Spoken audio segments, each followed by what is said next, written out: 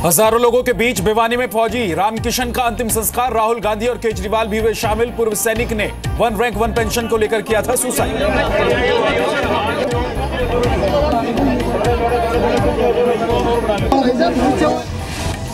फौजी की सुसाइड पर तेज हुई सियासत। भिवानी में कई राजनीतिक दलों ने नेताओं का जमावड़ा। रामकिशन की खुदकुशी पर भी सवाल। मुझे ये मामला आत्महत्या का नहीं। ये मामला बिल्कुल मर्डर कर। मिशन 2017 पर निकले अखिलेश का रथ बीच रास्ते में रुका।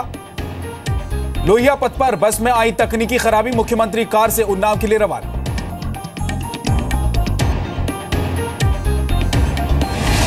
दिल्ली के विज्ञान भवन में एशियन मिनिस्ट्रियल कॉन्फ्रेंस का उद्घाटन। पीएम मोदी ने कहा, देश हित में काम करें, मीडिया कॉन्फ्रेंस में इकसठ देशों के प्रतिनिधि शिरकत कर रहे हैं।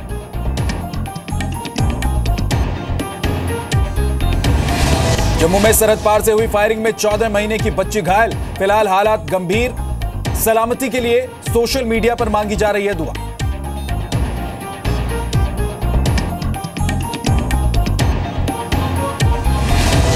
गुजरात के भरूच में जीएनएफसी के प्लांट में गैस लीक। हादसे में चार लोगों की मौत 16 से ज़्यादा बीमार। सोल्फिन गैस लीक होने से हुआ हादसा।